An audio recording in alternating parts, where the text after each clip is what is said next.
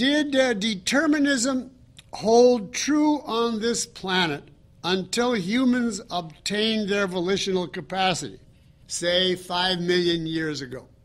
First of all, there's a question of whether animals have some form of uh, free will.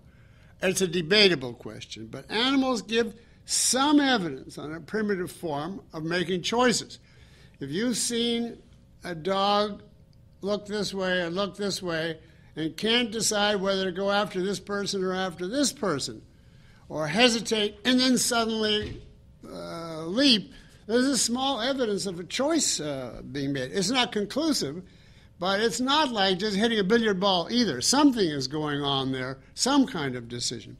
But let's say it's, it's only uh, human beings, and let's say there was five uh, million or whatever number of million years where there was, in fact, no choice going on. That would not be determinism. It would be causality, simply cause and effect. Determinism is a specific doctrine created to deny free will.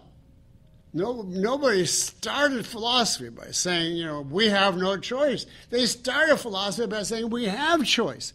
And it was only the post Aristotelian period where they uh, uh, got the idea of determinism. And some of the earlier philosophies implied it, but even the, the materialists, the atomists, thought that, the, like Epicurus, thought that the atoms had uh, swerved and that was uh, free choice. So, no, the doctrine would simply not apply.